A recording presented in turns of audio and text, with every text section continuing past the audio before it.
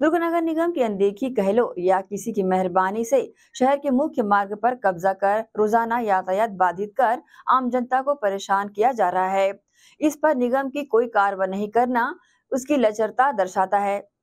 दुर्ग नगर निगम की अनदेखी कह लो या फिर किसी अधिकारी की मेहरबानी सड़क बाधित कर आम जनता को परेशानी होते देखे जा रहा है। अब तक कोई कार्रवाई नहीं की गई। नतीजतन लोग जबरन ट्रैफ़िक में फंसकर परेशान होते दिखाई पड़ रहे हैं।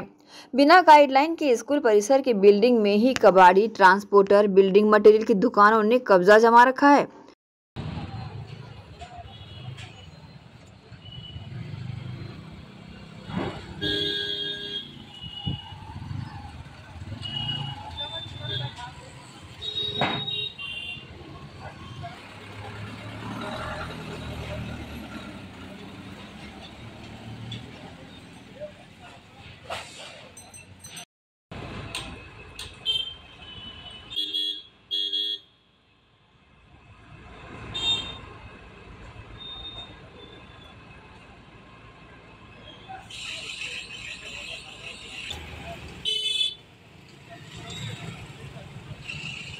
आप देख सकते हैं कि दुर्ग वार्ड आठ से चंडी मंदिर पहुँच मार्ग में सड़क की एक तरफ़ ट्रांसपोर्टर के लगेज बिखरे पड़े हैं तो वहीं दूसरी तरफ़ सड़क किनारे लगी बिल्डिंग मटेरियल की दुकान का सड़क में फैली रेती से यातायात व्यवस्था बाधित हो रही है।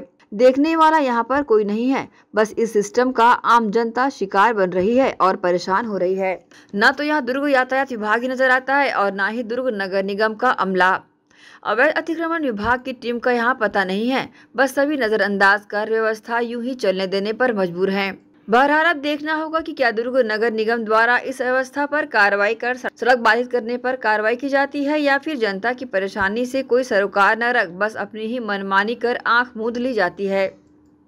एसीएन न्यूज़ के लिए दुर्ग से नसीम फारूकी की रिपोर्ट।